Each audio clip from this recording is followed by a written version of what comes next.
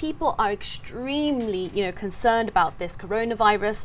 I want to ask you, what is your advice to, you know, your patients when they come and see you? It's definitely a very serious issue right now. Every morning you're getting updates and it's getting more number in cases and it's getting also more serious. And so definitely I'm telling my patients to just take precautionary measures. Don't panic, but just be vigilant and just be be aware of what you can do to prevent this. So let's go back to the basic. So personal hand hygiene means washing your hands with soap and water frequently for 20 seconds. If it's not available, you can also use a hand sanitizer to replace it if the hands are not visibly soiled. And also avoid going to the public. But we all know that's sometimes very difficult, right? So if you can't avoid going to the public and you have to go out, then wear a mask. Mm, okay, so those are all the practicalities and some of the back to basic stuff. So, you know, what should you do? You know, the minute you start feeling a little bit ill. Well, first, I think it's important to remind everybody of the symptoms first so they know, oh, when do I need to see a doctor? So first of all, if you have fever, so fever we call that 38 degrees and above, mm -hmm. um, Celsius and mm -hmm. above.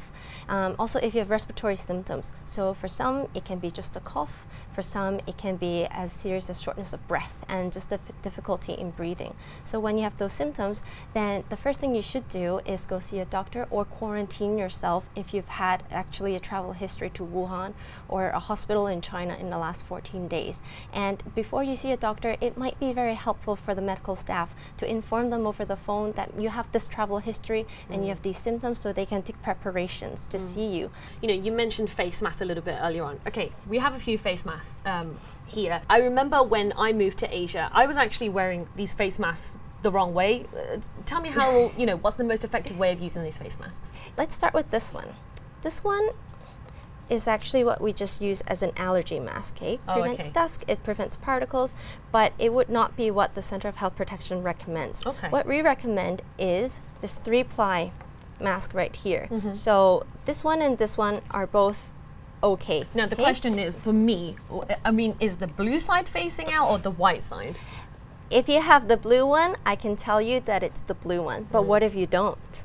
Okay, so which way is that? So let's take the more difficult one. Mm -hmm.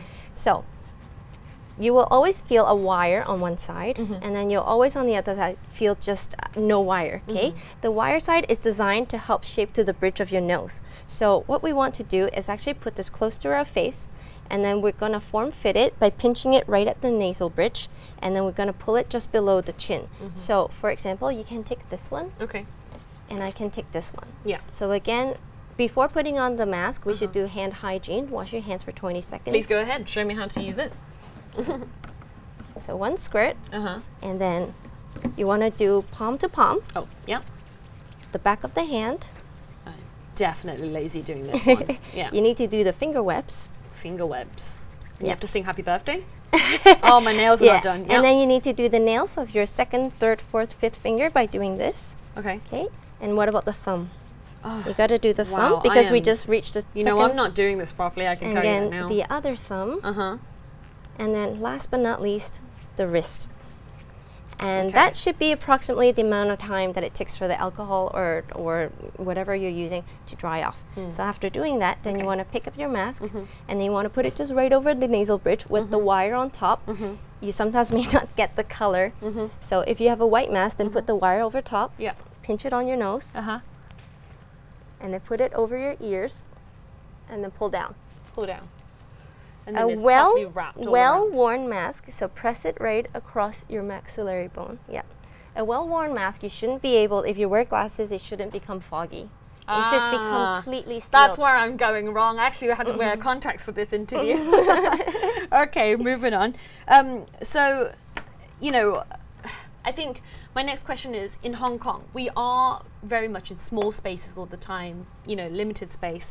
So for offices and businesses, what sort of precautionary actions can they take?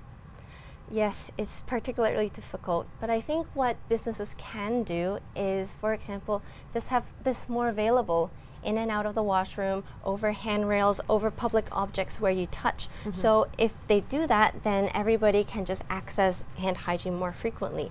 And on top of that, maybe it would be helpful if everybody just is vigilant of their symptoms. If they're sick, don't come to work. We're not just talking about Wuhan. We're not talking about coronavirus. It's not the only virus floating around in winter, right? There's, there's also flu, there's also everything else. So if you have symptoms, just cover yourself up with a mask or um, just don't come to work. And that would be the best for everybody. Right, and then Dr. Joyce, uh, I want to ask you, what about vaccinations? Is it too late? No, it's definitely not too late. So we're still doing currently um, influenza vaccinations, and we encourage everybody to get vaccinated. So it's definitely not too late, although it started a couple months back. So if you haven't had yours, so make sure you go to a nearest health provider to get your vaccine. Mm, okay, well, Dr. Joyce Lai, such a knowledgeable conversation. Thank you so much for coming in today. No, it's my pleasure. Thank you so much for having me. Thank you. Thank you.